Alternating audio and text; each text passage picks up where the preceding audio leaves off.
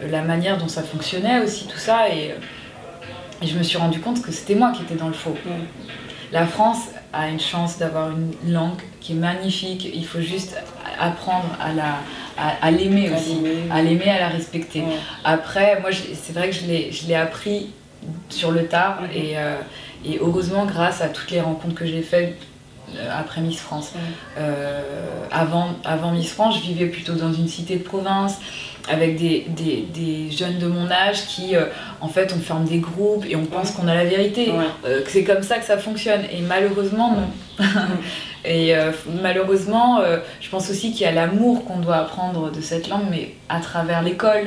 Et si les professeurs ne font pas un peu plus d'efforts aussi pour nous ou susciter notre curiosité ou notre envie, voilà. Je pense qu'il y a l'effort de tout le monde. Il y a une collectivité qui doit se former autour de, de ça. Et, euh, et, puis après, voilà, il faut aiguiser notre curiosité euh, à travers les films. Si on veut devenir comédien aujourd'hui, euh, il faut faire plein de choses. Hein. Il y a plein d'étapes à suivre.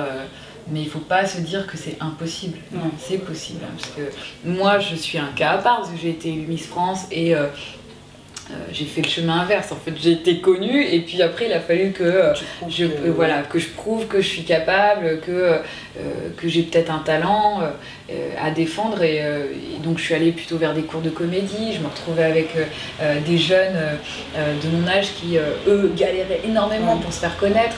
mais seulement, ils ne comprenaient pas que moi, ma démarche, elle était euh, plutôt humble, je venais apprendre le métier. Euh, je me mettais comme tout le monde à apprendre un métier et, euh, ils ne le voyaient pas forcément comme ça.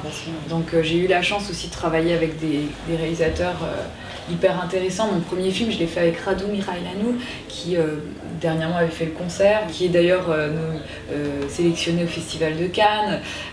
donc j'ai travaillé avec des gens qui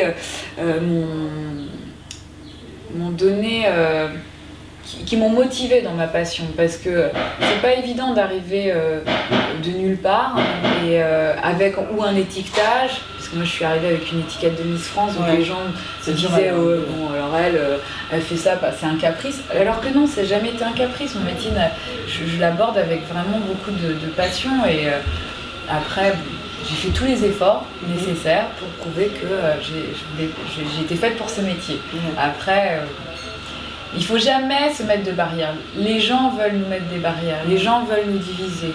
Euh, aujourd'hui, quand on écoute euh, les discours euh, politiques autour de nous ou les médias, on cherche qu'à la division et les gens sont en train de tomber dans le panneau. ils sont en train d'avoir peur des autres, ils sont en train d'avoir peur de la différence, ils sont en train d'avoir peur de l'autre et c'est terrible quoi. Euh, si nous on rentre dans ce jeu-là, on est, on est fini, on est, perdu. Alors que la France est vouée au métissage, moi j'ai jamais vu autant de métis autour de moi. Il y a plein de petits métis qui sont en train de naître euh, dans une société qui est en train de, se replier sur elle-même. C'est pas possible. On est dans un truc schizophrénique quoi. Donc, euh, donc moi je dirais non, il faut, il faut enlever ces barrières. C'est pas parce que tu viens de banlieue, c'est pas parce que tu viens de province que tu peux pas réussir dans ce métier.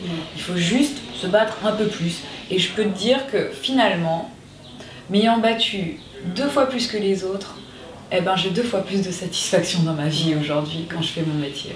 Je me dis, ah, Sonia, t'es arrivée là, mais tu t'es battue, mais putain, qu'est-ce que ça fait du bien de, de, voir où tu en es. Voilà.